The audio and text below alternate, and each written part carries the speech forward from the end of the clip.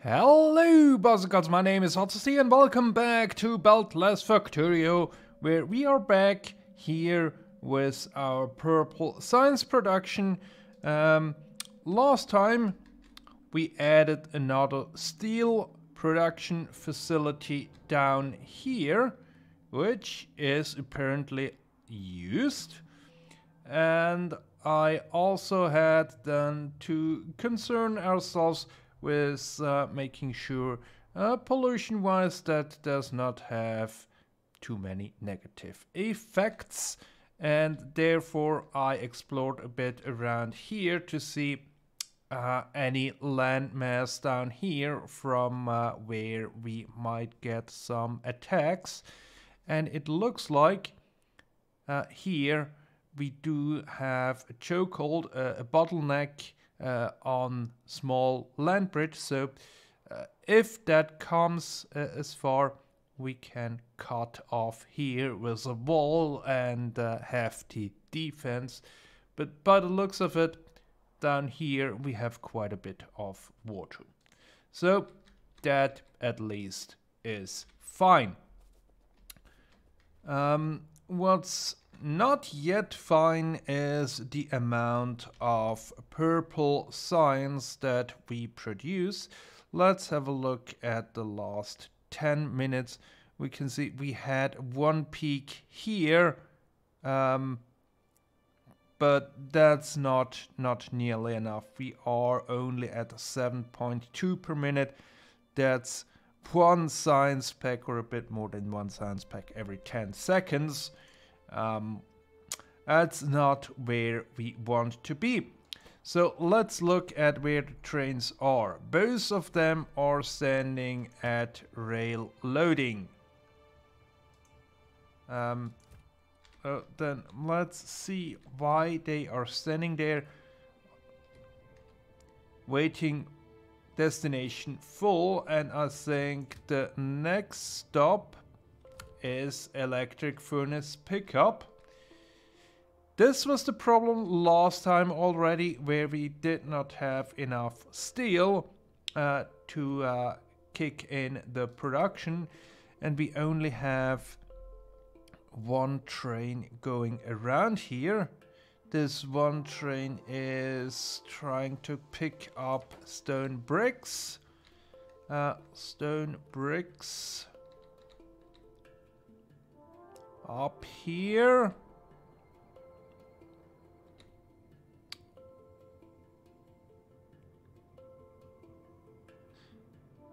Maybe we could produce uh, a bit faster. In here we these basically are not doing anything. Uh, but I also think we need a second train for our furnace supply and that at least should help a bit.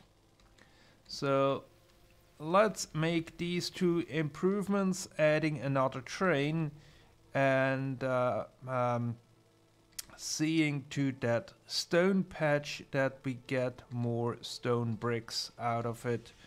Uh, we might even think about uh, adding another stone brick facility somewhere. But one thing after the other. Up here at the stone patch I added a few more uh, miners here on this side. So all the furnaces are mostly producing but if we want to know do we produce enough uh, bricks to for what we need? And for that we can have a look uh, here. So let's have a look at the the last 10 minutes where we see we have a production of uh, a bit under 350 per minute. But we are actually requiring the double amount. If we look at it uh, over a whole hour, we're still consuming more that we can produce, and that's a clear indication we need a second station for stone. And luckily, we have another stone patch up here, so that should not be a, a big problem. Uh, however, I don't have the materials on me. Need a few more furnaces, maybe uh, miners should be enough um, uh, so that we can set up uh, a second uh, stone patch here for stone bricks. And I think we can go with a similar setup as we have for uh, all our other ore mines um, to get more out of it. By looking at this, we have three furnaces sitting here and it seems four miners are not enough. So I am thinking maybe six six miners three furnaces. So uh, that's two for two miners per furnace. That ratio should be good so let's put that second uh, stone brick facility in place so we can at least uh, navigate around that issue. This looks like a decent setup. Uh, I have extended right off one additional row of miners. Because here on this side we were one short anyway. On this side this one will not have too much stone left. So all that needs to be done is get that going. And then I have to figure out how to best connect that. Okay. Two electric furnaces short. Let's see. If I had 20 stone, I might be able uh, to solve that problem right there. So let's see what we can do there. And of course, as we are lacking in stone bricks, um, we will put those back in there. Um, for connection, I am thinking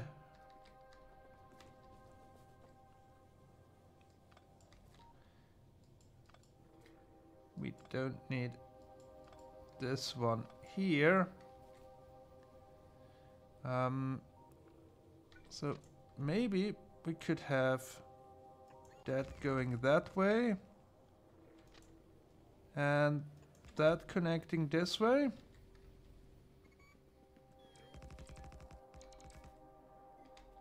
So that should work and then bit of power going that way. And that should kick things off here and should help us quite a bit with supplying the, uh, the stone bricks that we need. And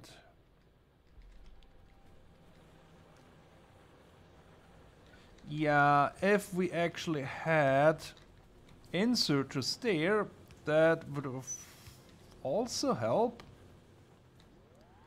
Um, all furnaces are lit up, so let's have a look at the at the production. Uh, we can see production went up. Uh, we are looking at the at the blue line, and there we can see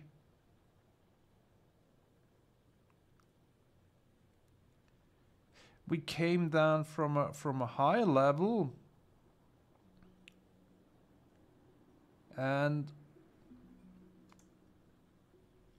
if we look at it over uh, over 10 minutes then we are getting closer. We have 400 plus. We consumed 500 plus. So I think we have to give this a bit of time in order uh, to get the the full time span we are looking at for this setup to work as well. And then here on this side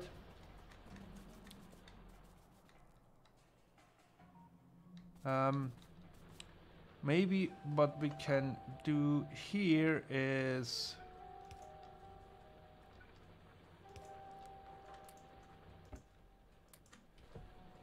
move those stones around a bit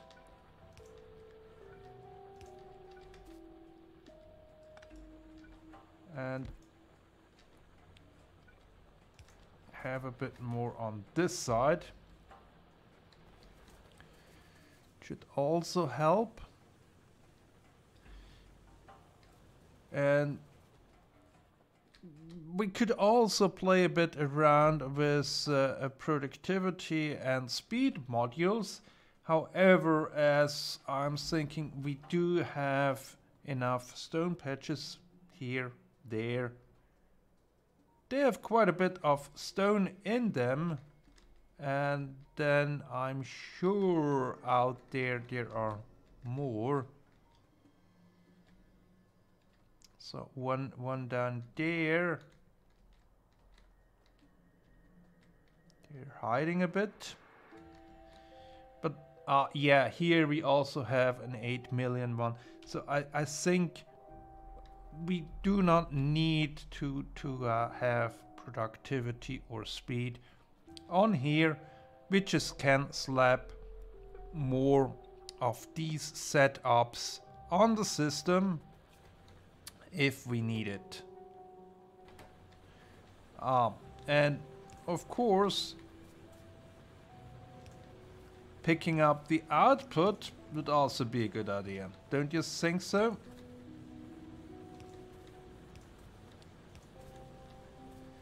Alright then, let's wait a bit to see how this new facility affects our setup. Our production for the stone bricks is looking good now.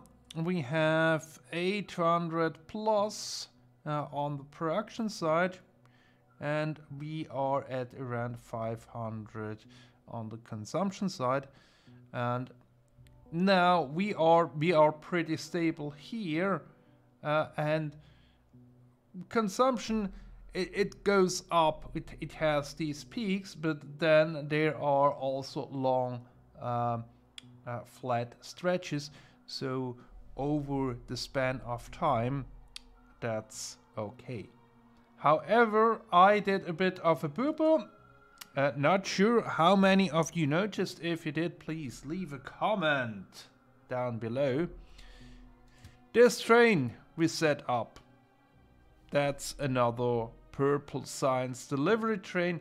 But what we actually wanted to have was uh, electric furnace delivery train.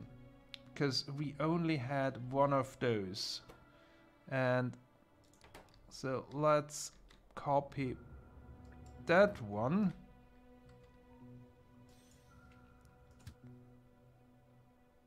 That's more like it. Thousand, thousand, five hundred. Yeah, should be good. Uh, the thing here with uh, with these trains is that sometimes you have to be careful um, with the materials that, that you load because if you have basically a wagon full of materials uh, crammed full so no placeholders like like here. Um, then you have to set the filters so you don't accidentally insert one item more uh, in there because that would then lead to uh, other items not having the place to put in there and the whole ratio is offset. And uh, you are not I mean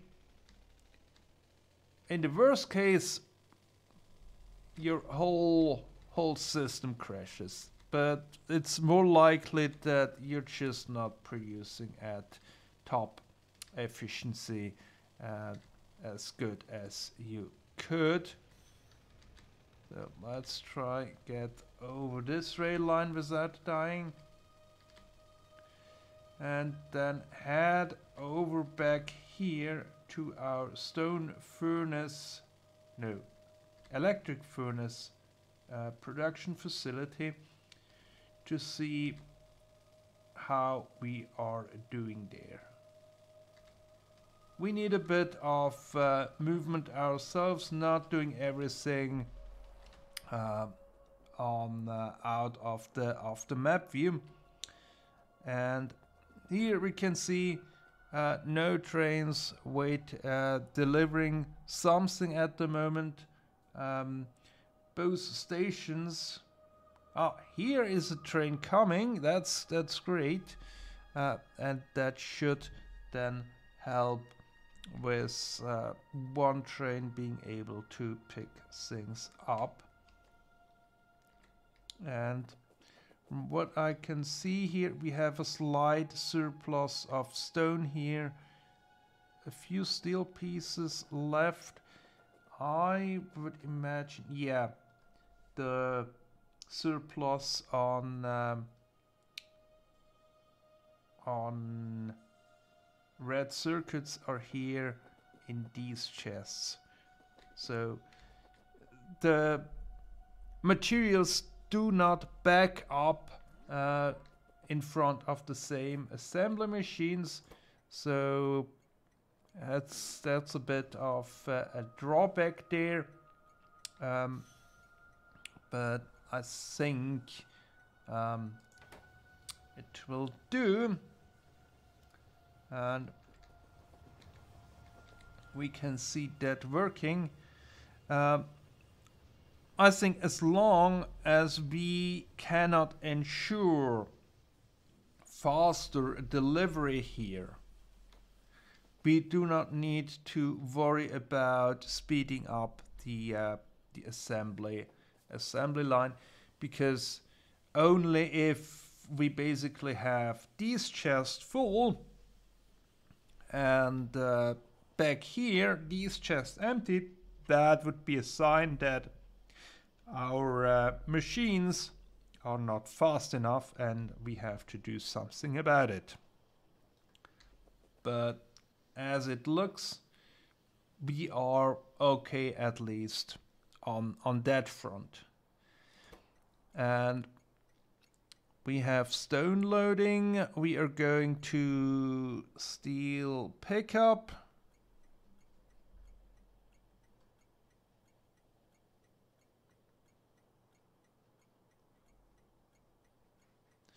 At least trains are are moving. Um,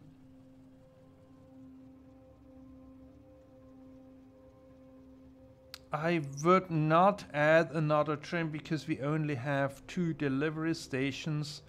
Otherwise we would have to add a waiting bay for the delivery because we don't want to have trains sitting at the red circuits pickup because the delivery stations are full. But as you can see, the next train is, is already coming in here. Then here we go to, to the steel. And uh, I think we now have a much better flow and maybe the stone bricks really was the bottleneck for for this build. So before we end this episode, let a bit of time pass to see uh, how the improvements that we did on here uh, actually affects um, actually affects the the production of the purple science. Looking at this graph, we made quite the improvement. At the beginning of this episode, we were at around uh, 7 per minute or um, one science pack every 10 seconds. Now we are at 17s. That's still a far cry away from where we want to be, but the improvement is more than 100% better. So probably there are other things that need to be done. Um, but one thing that I noticed is things like this, where we have train queues and the reason for that is that the train in the station um, wants to go uh, to the next station, but that destination is full. But by saying they want to go there, uh, they basically um, they basically uh, uh, say, okay, this station is free, another train can come in, and and by doing so, they are blocking the pass. Not good. So let's add that here. Um, exactly like this. And the thing we could do here is having this signal there. We need to reverse out here manually.